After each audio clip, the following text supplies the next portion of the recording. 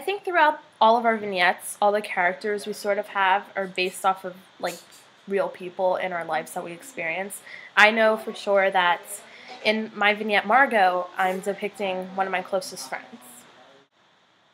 Um, in my vignette Margot, I sort of share the experience of um, a girl that I know closely who's very happy and very um, bubbly, and she's sort of interacts with my band teacher who's not so um, pleasant, you can say.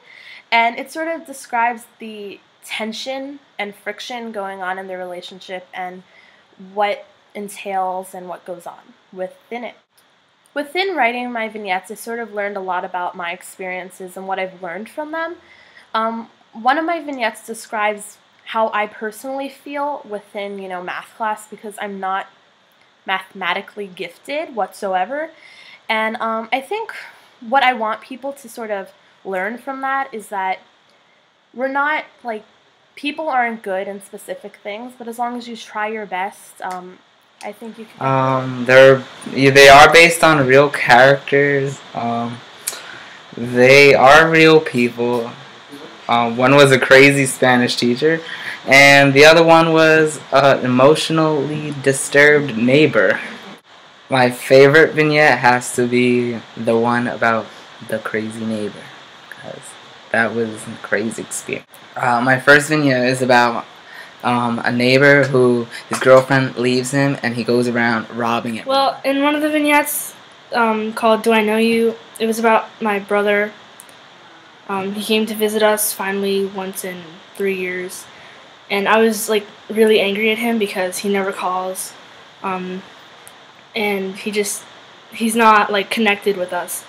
So in that vignette, I was expressing how I was angry at him, and how I didn't really like him at the moment, and how I was trying to ignore him, but you can't really ignore your family, so it didn't work.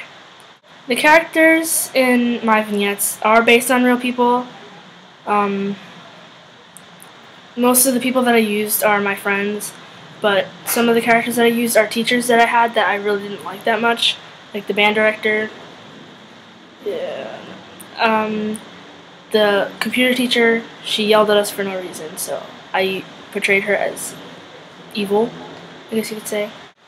So my favorite vignette would probably have to be the blue hoodie because in the beginning I made it seem like it was an actual experience, but in reality it was a dream that I had. I was a bit shaken after that. But in the beginning I made it I tried to make it as real as possible. And in the end I stated that I was back in my room where I knew I should be, which made it hopefully I I hope it made it seem that it was a dream. My feelings were from life experiences, so writing them were quite easy because I felt the emotions before. I just go right down on paper. So the characters were based on real people from real life, and they meant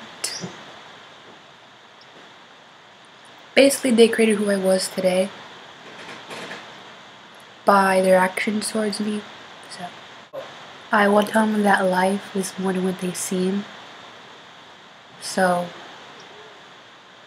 they need to know that life doesn't seem what it is on the surface. The vignette that I like the most, I think, is the one about the 4th of July because it describes a moment in my life where I was happy. I don't know. Okay, so like the first vignette that I wrote is uh, about neighborhood sounds, like describing sounds in Amboy and stuff. And it's really just that. Just, um, my neighborhood and like stuff.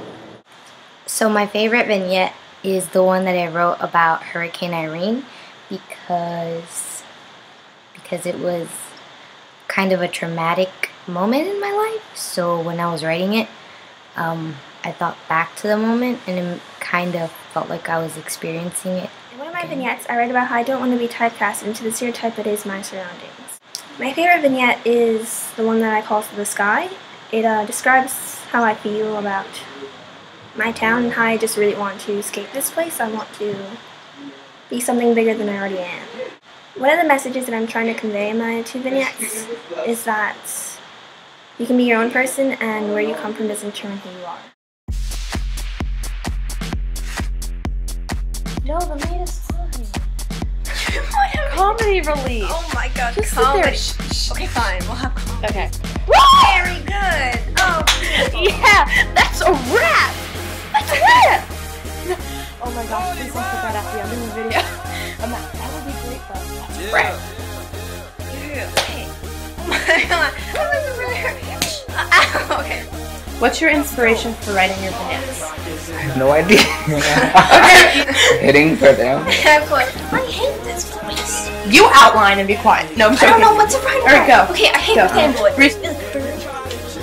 I feel that our vignettes are here to describe more or less our experience throughout our life. Okay, wait, can you, Especially think of- Cook time!